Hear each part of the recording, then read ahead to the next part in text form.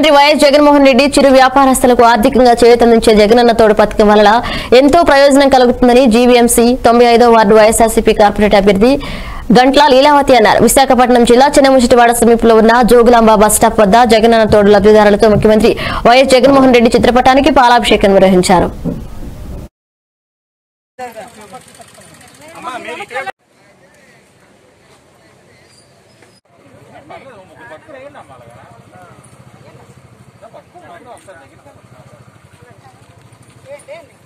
వర్ధిల్లాలి జగన్మోహన్ రెడ్డి గారి నాయకత్వం వర్ధిల్లాలి ఆదిప్రాజ్ గారి నాయకత్వం వర్ధిల్లాలి ఆదిప్రాజ్ గారి నాయకత్వం జై జగన్ జై జగన్ జై జగన్ వర్ధిల్లాలి జగన్మోహన్ రెడ్డి గారి నాయకత్వం వర్ధిల్లాలి ఆదిప్రాజ్ గారి నాయకత్వం వర్ధిల్లాలి ఆదిప్రాజ్ గారి నాయకత్వం వైఎస్ జగన్మోహన్ రెడ్డి గారు పాదయాత్రలో నవరత్నాలుగా వేటినైతే మాట ఇచ్చారో వాటిలో తొంభై శాతం పథకాలు నెరవేర్చిన ఘనత ఒక్క వైఎస్ఆర్ ప్రభుత్వానిదే.